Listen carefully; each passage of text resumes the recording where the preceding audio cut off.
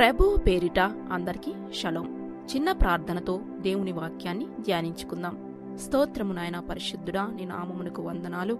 ఆది కాండము ముప్పై ఆరవ అధ్యాయం ధ్యానిస్తూ ఉండగా చక్కని జ్ఞానము వివేచన జ్ఞాపక శక్తి అనుగ్రహించమని ఏసు నామంలో అడిగి వేడుకొనిచున్నాను పరమతండ్రి ఆమెన్. ఆది కాండము ముప్పై ఆరవ అధ్యాయము. ఏదోమను ఏషావు వంశావళి ఇదే. ఏషావు కనాను కుమార్తెలలో హిత్తీయుడైన ఏలోను కుమార్తెయగు ఆదాను హివ్వీయుడైన సిబ్యోను కుమార్తె అయిన అనా కుమార్తెయగు అహోలిబామాను ఇష్మాయలు కుమార్తెయు నెబాయోతు సహోదరియునైన బాషేమతును పెండ్లియాడెను. ఆదా ఏషావునకు ఎలీఫజును కనెను. బాషేమతు రఘు ఏలును కనెను. అహోలి యూషును యాలామును కోరాహును కనెను. కనాను దేశంలో ఏషావునకు పుట్టిన కుమారులు వీరే. ఏషావు తన భార్యలను తన కుమారులను తన కుమార్తెలను తన ఇంటి వారినందరినీ తన మందలను తన సమస్త పశువులను తాను కనాను దేశంలో సంపాదించిన ఆస్తి యావత్తును తీసుకుని తన తమ్ముడైన యాకోబు ఎదుట నుండి మరియొక దేశమునకు వెళ్ళిపోయాను వారు విస్తారమైన సంపద గలవారు గనుక వారు కలిసి నివసింపలేకపోయేది. వారి పశువులు విశేషమై ఉన్నందున వారు పరదేశులై ఉండిన భూమి వారిని భరింపలేకపోయెను. అప్పుడు ఏషావు షేయూరు మన్యములో నివసించెను. ఏషావు అనగా ఎదోము. షేయూరు మన్యములో నివసించిన ఏదోమీయుల తండ్రి అయిన ఏషావు వంశావళి ఇదే. ఏషావు కుమారుల పేర్లు ఇవే.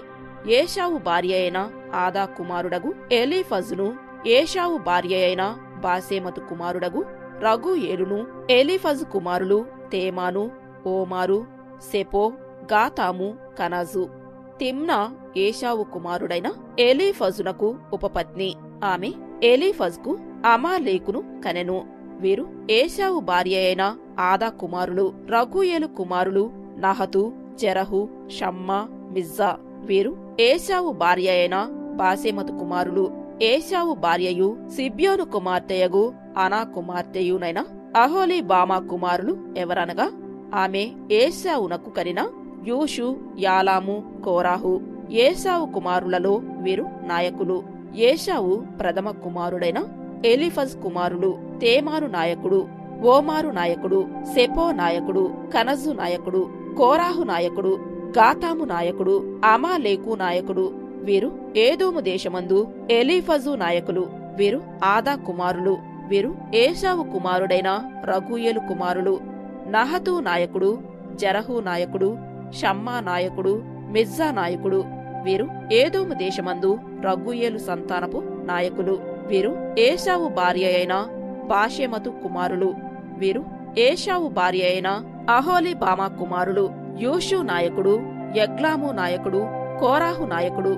వీరు అనా కుమార్తెయు ఏషావు భార్యయునైన అహోలిబామా పుత్ర సంతానపు నాయకులు. ఏదోమను ఏషావు కుమారులు వీరు. వారి వారి సంతానపు నాయకులు వేరు. ఆ దేశ నివాసులైన హోరీయుడైన షేయిరు కుమారులు లోతాను శోభాలు సిబ్యోను అనా దిషోను ఏసేరు దీషాను. వీరు ఏదోము దేశమందు సేయిరు పుత్రులైన హోరీయుల నాయకులు. లోతాను కుమారులు హోరీ హేమీము. లోతాను సహోదరి తిమ్నా.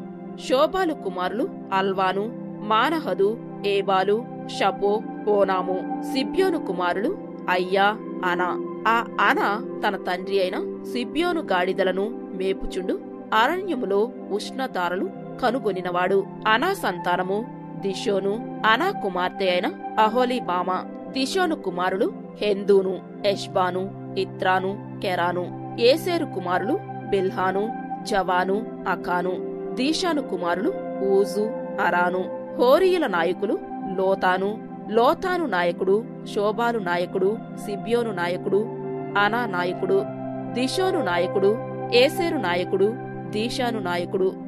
సేయూరు దేశమందలి వారి నాయకుల చొప్పున వీరు హోరీయుల నాయకులు మరియు ఏ రాజైనను ఇస్రాయేలీయుల మీద రాజ్య పరిపాలన చేయక మునుపు ఏదోము దేశములో రాజ్య పరిపాలన చేసిన రాజులెవరనగా బెయారు కుమారుడైన బెలా ఏదేములో రాజ్య పరిపాలన చేసెను. అతని ఊరి పేరు దిన్హాబా. బెల చనిపోయిన తరువాత బొస్రావాడైన జరహు కుమారుడగు యోబాబు అతనికి ప్రతిగా రాజాయను.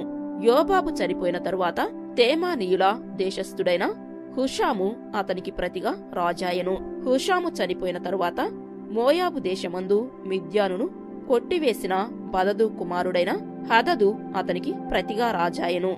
అతని ఊరి పేరు అవీతు. హదదు చనిపోయిన తరువాత మష్రేకా వాడైన షమ్లా అతనికి ప్రతిగా రాజాయను. షమ్లా చనిపోయిన తరువాత నదీ తీరమందలి రహేబోతు వాడైన షావులు అతనికి ప్రతిగా రాజాయను. షావులు చనిపోయిన తరువాత అక్బోరు కుమారుడైన బయల్హానాను అతనికి ప్రతిగా రాజాయను. అక్బోరు కుమారుడైన బయల్హానాను చనిపోయిన తరువాత హదరు అతనికి ప్రతిగా రాజాయను. అతని ఊరి పేరు పాయు. అతని భార్య పేరు మహేతాబేలు. ఆమె మేజాహాబు కుమార్తె అయిన మత్రేదు కుమార్తె.